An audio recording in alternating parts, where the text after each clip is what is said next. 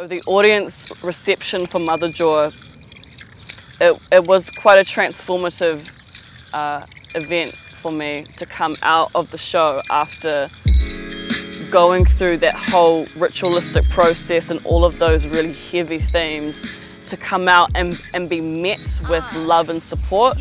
it's it just washes over you you know it's like you don't when you make work you don't really plan for that. You don't plan to be loved you don't you don't plan to have anyone clap you don't plan to win awards or anything especially as someone who's had to fight for it and someone who's never felt like they belonged anywhere to really felt like I belong somewhere was quite incredible.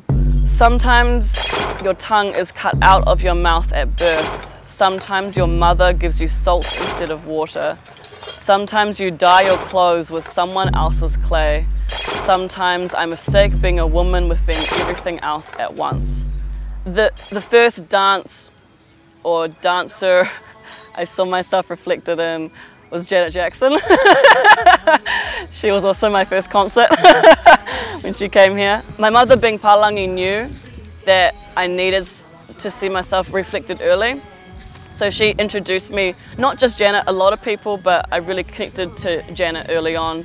And I saw this woman of color, like so powerful on stage and like natural curly hair and beautiful dark skin and just ex expressing her sexuality and just talking about domestic violence and you know just dancing amazingly and just wearing amazing clothing and looking strong like physically and holistically so what I really wanted to to have behind Mother Jaw was to be able to allow the audience to see themselves reflected in it so that was a really important message as well for for the wider community, especially people of colour, to see themselves reflected and see themselves voiced in the work. I also really wanted just to have um, Palangi people talk about what it's like for them. Like literally had a whole section in it and people loved it. And they and, and I had um, Palangi people come up to me afterwards saying, that's exactly how I felt and I've never been able to say it. So that was really cool too, to, to connect each, each other like literally like my name in some countries translates as vessel. So like that's literally my job is to be able to transport messages. So I can't take any, any credit for anything. Um, I, but I was so humbled to have that affirmation to be able to keep going. It's so important. And I think especially in Auckland and in New Zealand, we have a habit of not giving affirmation to those who need it or who deserve it.